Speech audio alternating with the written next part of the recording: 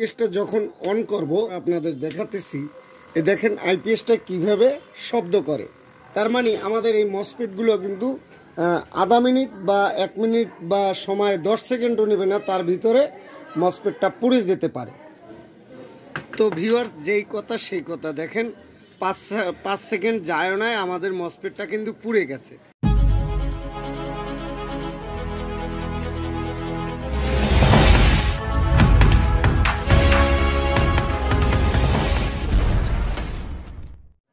আসসালামু আলাইকুম, প্রিয় দর্শক। পিএসবি বাংলার নতুন আরেকটি ভিডিওতে আপনাদেরকে অভিনন্দন এবং শুভেচ্ছা। ভিউয়ার্স ছোট্ট একটি সমস্যা নিয়ে আমরা অনেকেই অনেক সময় বিপদে পড়ে যাই।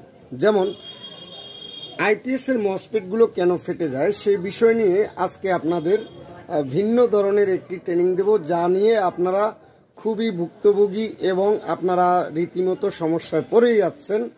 তো আজকে আমি দেখাবো এই মসপেটগুলো কেন পুড়ে যায় এবং আপনি এক চান্সে কাজগুলো করে নিতে পারবেন, শুধুমাত্র সিক্রেট একটা জানলে তো আমরা আজকে দেখব এই আইপিএসটা কি সমস্যা। যদি আমি এই আইপিএসটা লাইন দিয়ে নিই, তো তখন আপনাদের দেখাতে পারব এবং বুঝাতেও পারব যে আমাদের এই আইপিএসটা কি সমস্যা। এই আইপিএসটা যখন অন করব, চালু করে তারপরে আপনাদের দেখাতেছি। এ দেখেন আইপিএসটা কীভাবে শব্দ করে। তার মানে আমাদের এই মসপিটগুলো কিন্তু আধা মিনিট বা এক মিনিট বা সময় দশ সেকেন্ডও নেবে না, তার ভিতরে মসপেটটা পুড়ে যেতে পারে। তো ভিউয়ার, যেই কথা সেই কথা দেখেন, পাঁচ পাঁচ সেকেন্ড যায় নাই, আমাদের মসপেটটা কিন্তু পুড়ে গেছে। তো এখন এইভাবে যাদের হাল হয়ে যায়, তাদেরকে বলছি এই সমস্যাটা কীভাবে সমাধা করবেন, সেই বিষয় নিয়ে থাকবে আজকের এই ভিডিওটি। তো আমরা মসপেটগুলো খুলে নেব। এপাশে তিনটা মসপেট আছে আর অপর পৃষ্ঠে তিনটা মসপেট আছে। টোটাল ছয়টা মসপেট আমরা খুলে নেব আগে। আজকের এই ভিডিওটি স্কিপ না করে দেখতে থাকুন কীভাবে একটি আইপিএস সম্পূর্ণ পুড়ে যাওয়ার পরে আপনি পুনরায় আবার ভালো করবেন। আপনা, আমরা অনেক সময় সার্কিট চেঞ্জ করি। ভিউয়ার্স, সার্কিট চেঞ্জ করার কোনো দরকার নেই, কোনো প্রয়োজন নেই। আজকে এই কাজটি দেখলে আপনারা একদম ইজি হয়ে যাবেন। কীভাবে? নষ্ট সার্কিট দিয়ে আপনি আইপিএসগুলো ভালো করে সেরে তুলবেন। তো এ পর্যায়ে আমি মসপেটগুলো খুলে খুলে নিলাম। এখন আমি ভালো আবার ছয়টা মসপেট নিয়ে আবার এই জায়গায় লাইন লাগাই দেবো। তো দেখেন এ জায়গার থেকে একটি প্রিন্ট পুড়ে গেছে। এই প্রিন্টে আমরা কানেকশন করে নিব। তো প্রথম এক সাইডের মসপেটগুলো আমরা লাগিয়ে নেব এবং টাইট করে দেব খুব সুন্দর ভালোভাবে, যাতে টাইট যদি কম থাকে অথবা লুজ থাকে তাহলে মসপেটগুলো আবারও পুড়ে যাবে। তো আমাদের মসপেটগুলো ঢোকানো শেষ, এখন আমি ঝালাই করে দেব সুন্দরভাবে। তো এ পর্যায়ে আমার ঝালাইগুলো করা শেষ, এখন আমি আপনাদের দেখাবো দ্বিতীয় সাইডের মসপেটগুলো লাগিয়ে। দ্বিতীয় সাইডের মসপেটগুলো আমি লাগিয়ে নিচ্ছি এবং ঝালাই করে নেব। তো খুব সুন্দরভাবে কাজগুলো করার চেষ্টা করবেন। আমি মসপেটগুলো লাগিয়ে নিলাম এবং ফিটিং করে টাইট দিয়ে নিলাম ভালো করে। এখন সুন্দরভাবে আবার ঝালাই করে দেব।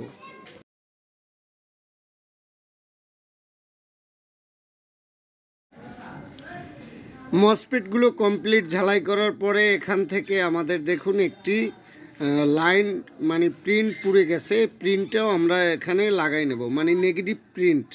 এই নেগেটিভ প্রিন্টে এখানে একটু প্রিন্টের সাথে ঝালাই করে নিলাম। জাস্ট একটি তার দিয়ে আমরা এই লাইনটা টেনে নেব। তো মসপেট বোর্ডের যে কাজগুলো ছিল, এই কাজগুলো এ পর্যন্তই হয়ে গেছে। এখন আমরা কানেকশনগুলো দিয়ে দেব। তো কানেকশনগুলো দেওয়ার ভিতরে আমরা যে এই অসিলেশন ফাইভ ভোল্ট ভোল্টেজটা আছে, এই ভোল্টেজের যে তার, এই তারের সাথে আমরা একটা ডায়োড ব্যবহার করব। চার হাজার সাত একটি ডায়োড তো লাইনগুলো লাগাবেন মানে ডায়োডটা লাগাবেন, ওই সাদা মাথাটা আপনারা ইয়া বাইশমস রেজিস্ট্যান্সগুলো যে মসপেটের সাথে কানেকশন হয়েছে, এই বাইশমস রেজিস্ট্যান্সের যে কমন প্রিন্টে আছে, এই কমন প্রিন্টের সাথে লাগাই দেবেন। তারপরে আমি একটি টিউব অ্যাডজাস্ট করে নিলাম তারের ভিতরে, যাতে করে কোনো জায়গায় শর্ট না হয়।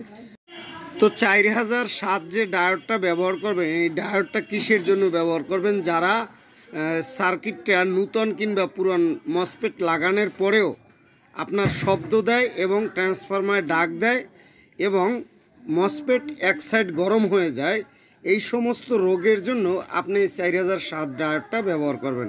তাইলে একটা করবেন না, করলে দোনো সাইডে দুইটা করবেন। দুইটা করলে আপনার ও অল সমস্যা এই দুইটা ডায়োটে দেখবে।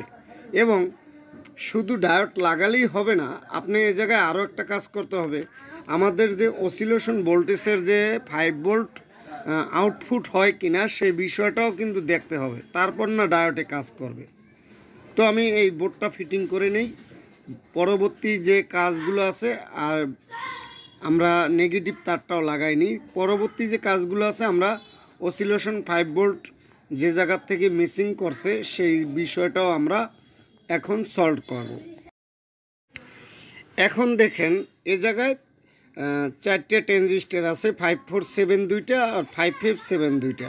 তো এই দুইটা ট্রানজিস্টারের উপরে আমরা এখন কাজ করব। এই চারটে ট্রানজিস্টারের কাজ হলো বারো ভোল্ট থেকে পঁয়ত্রিশ পঁচিশ যে আইসিটা আছে, এই আইসির মাধ্যমে আমাদের ফাইভ ভোল্ট পাওয়ার মসফেট বোর্ডে আউটপুট করে। তার জন্যই ট্রান্সফরমার ভোল্টেজ সংযোগিত হয় এবং আমাদের এই ডিসি বারো ভোল্ট থেকে দুইশো বিশ volt A to Z output হয় ট্রান্সফরমার থেকে। তো আমরা এখন কি করব? এই ট্রানজিস্টারগুলো চেঞ্জ করে ফেলব। এই হলো আমাদের চারটে ট্রানজিস্টার এই চারটে ট্রানজিস্টার আমরা চেঞ্জ করে দেওয়ার পরে আমাদের ফাইভ ভোল্ট ঠিক হয়ে যাবে এবং আমরা কানেকশন দেব, আমাদের আইপিএসটি চলবে।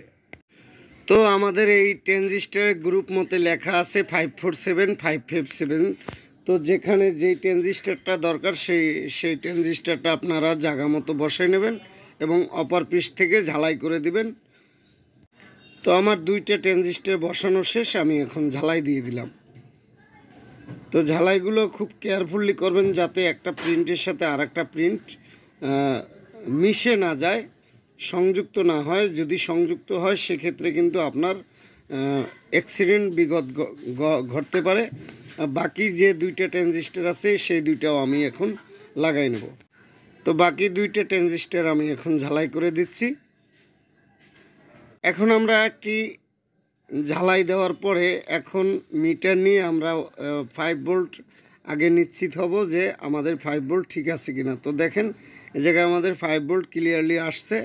তো ফাইভ ভোল্ট ট্রাই করা আমাদের হয়ে গেল, এখন আমরা এটা চেক করব। সার্কিটটা ঘুরিয়ে নেব। সার্কিটটা ঘুরিয়ে নেওয়ার পরে আমরা এই জায়গায় পাওয়ার মসপেট থেকে যে অসিলেশন ফাইভ ভোল্টের যে কানেকশনটা কানেকশনটা ঝালাই করে দেব। ঝালাই করে দেওয়ার পরে আমরা পুনরায় আইপিএসটি অন করে আপনাদের দেখাবো। তো আমাদের ঝালাই করা শেষ। ট্রান্সফরমার তার দুইটাও আমরা এখন লাগাই নেব। তারপরে ভালো করে টাইট দিয়ে দেব। তার টাইট দেওয়ার পরে আমরা এই আইপিএসটি চেক করে আপনাদের দেখাবো। দ্বিতীয় তারটাও আমরা লাগাই নিচ্ছি। এখন আপনাদের ট্রাই করে ব্যাটারির সাথে সংযোগ দিয়ে ট্রাই করে দেখাবো আজকের এই কাজটি কেমন হলো। তো নিত্য নতুন ভিডিও পাওয়ার জন্য আমাদের এই চ্যানেলটি সাবস্ক্রাইব করে রাখুন। ভালো ভালো কাজ পাওয়ার জন্য কমেন্টে লিখুন এবং আমরা এই ভিডিওগুলো আপনাদের দেওয়ার চেষ্টা করব যেই সমস্ত ভিডিও আপনাদের প্রয়োজন। তো ভালো থাকুন, সুস্থ থাকুন। আজকের ভিডিওটি এই পর্যন্ত। ধন্যবাদ। ইএসবি বাংলা চ্যানেলের সাথে থাকুন।